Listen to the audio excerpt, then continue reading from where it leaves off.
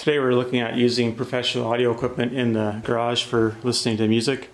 So I have a 400i system from Yamaha, which is this two speakers and the mixer that's on the uh, tool tray.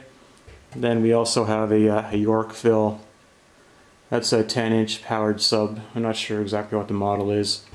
It's uh, fairly recent and it's 250 watts. So the 400i is 200 watts per channel and then it's 250 for the sub with a 10 inch speaker whereas the uh, 400i has uh, 1 inch compression drivers and 6 inch uh, woofers on it.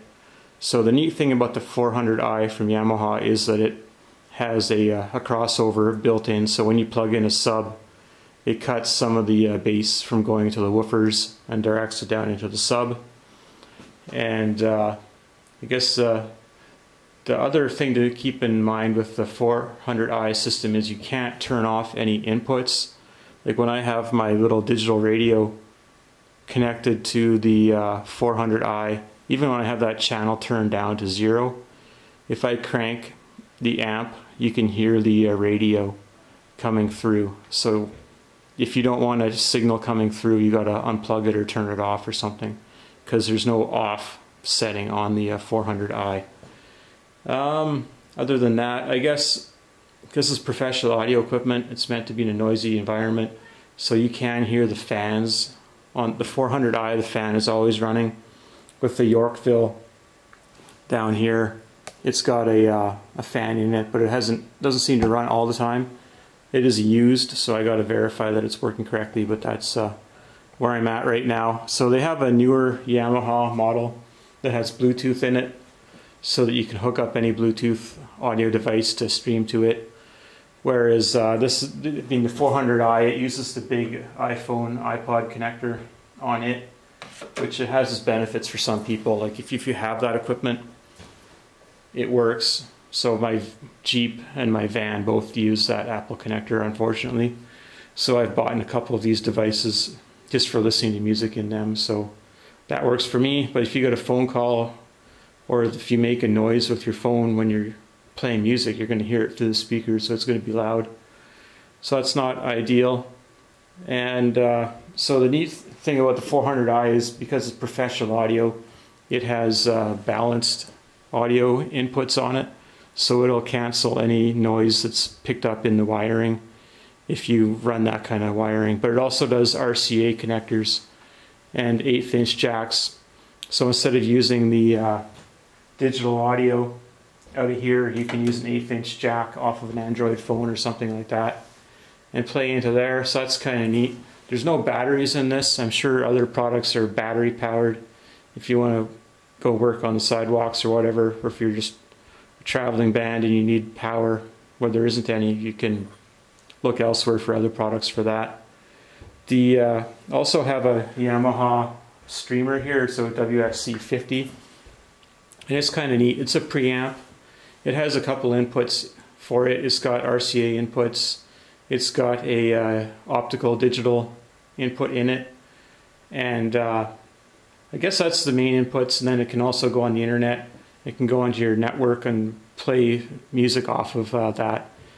And this is all stereo equipment, which was very intentional for me. I do not like surround sound equipment for listening to music. It's just a nuisance trying to get the settings correct then when you think you got it right, it screws up.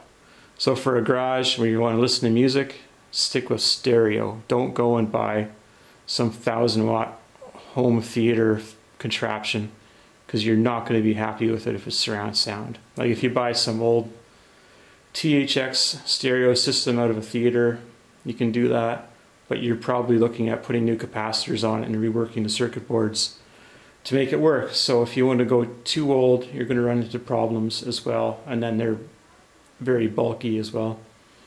So I'm not going to play any music really, but with the 400i, I found that having a 10 inch sub really completes the system. And they're not expensive, so I would consider that.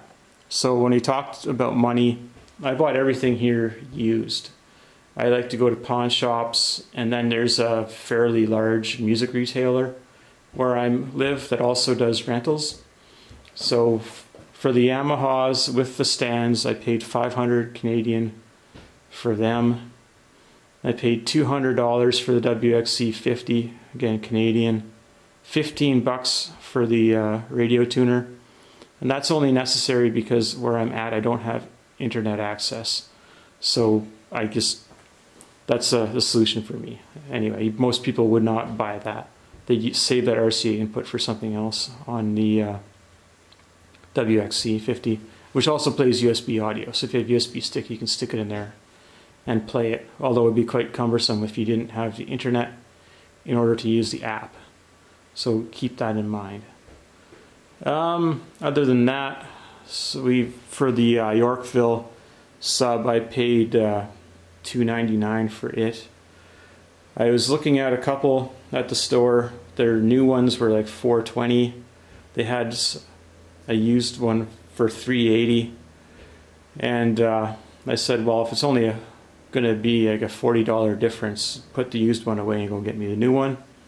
They couldn't find the new one, so they ended up cutting another hundred dollars off of this thing. So I think I paid two ninety nine for it for a ten inch, two hundred and fifty watt sub, and it's a professional piece of equipment. This one has been rented 110 days. It could have sat in someone's restaurant or something for a few months and got a good workout or whatever. I don't know, but it's got a, a three month warranty. So that's the way I like to buy audio equipment is to buy better stuff used. And then I've got all powered equipment, right? So you could get 19 inch rack amps, like you can get a, a thousand watt head to run a pair of speakers, but then you're starting to take up a lot of space and you need to like pay more attention to what you're doing with uh, connecting things up with the, so with the 400i, basically I've got a, a uh, TRS cable that goes out to sub output into the sub. It has a bunch of unbalanced or balanced connections and through connections and everything on there. So it's quite versatile. It can take pretty much anything you give it. The girl that demoed it to me in their store just hooked up her phone with an eighth inch jack going into a quarter inch jack on the back and it worked great. So obviously it's only going to play bass, right? I don't know what kind of crossover is in that sub, but because I have a crossover built in my mixer, I'm good to go. Everything works. it's my understanding that there's some issues with the uh, Yamaha 400i compression drivers that come in them stock. So those actually the speaker on the uh, left, I've replaced the compression driver on it after I bought it, and uh, I put in an upgraded one which has its drawbacks and benefits for that because they're only 12 watt compression drivers. I put in a 25 watt and its uh, sensitivity was like 2 dB higher. To the human ear at listening volumes in this location, it seems like it's fine.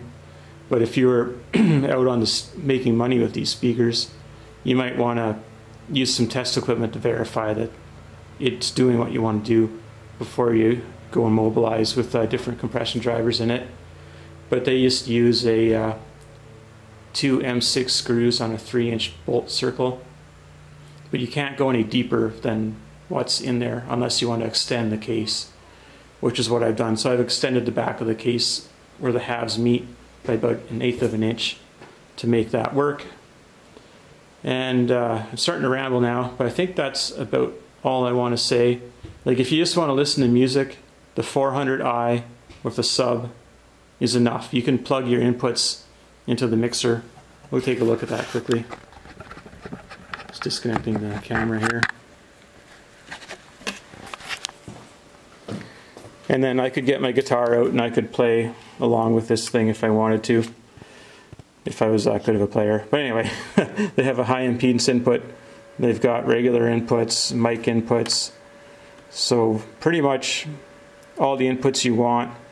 Like, I don't know if you can hear the fan running in this thing or not, but that could be annoying if it's inside of your home, depending on what you're using.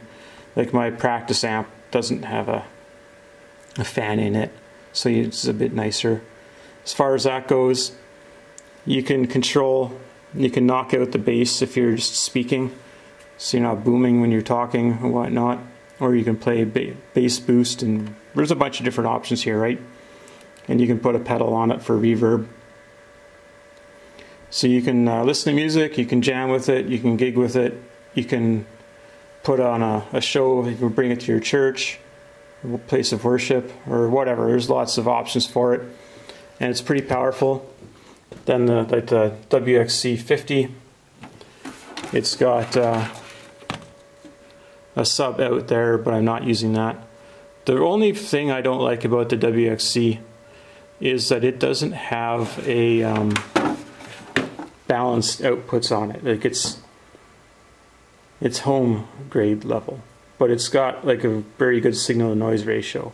So it, the SNR is good on it, but then this thing has other things. So I wish Yamaha made it like a, something a little more professional. I'm sure they do, but uh, I just buy whatever's available. And then for the speakers, they just use uh, quarter inch speaker cable. They come with like some long red and black molded cables that look kind of disgusting. So I just got some shorter ones to go on there. The uh, mixer sits in there, and I just keep my receipts taped to my equipment because I buy it used, and if it turns out it's stolen or something, at least I got proof that I bought it from a business. Um, and then there's not much to say about this. I was shocked at what like consumer grade AV and audio equipment is selling for nowadays. Like I did not plan to buy any professional audio equipment, but like when you start looking at like a high power stereo amp, like people want a lot of money for it. And like I said, you got to redo the capacitors on them and everything. It just didn't make any sense to buy something old when you could just buy something new that you can service if you have to without a, a lot of effort. And it's not gigantic, doesn't take up a bunch of space. So that's uh, kind of the route that I went for with the garage. I'm really happy with it. I was surprised how much bass this little guy puts out. It's perfect for where I'm at. I guess we can take a look at the back of it and it's it's light, right? Like if you want to go into like a 3,000 watt sub, you can, but they're going to be a couple thousand bucks, and they're going to be like heavy and gigantic. So you can see it's got the XLR connector, it's got the uh, quarter inch slash uh, XLR on the left for mono.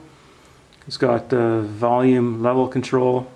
It's got high pass output with a 80 hertz crossover on it so it can process the signal for you a little bit the older stuff wouldn't do any of that so uh, yeah.